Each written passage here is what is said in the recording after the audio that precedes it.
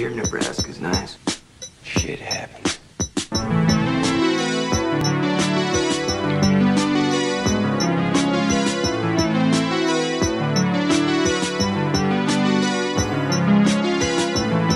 We are the walking dead.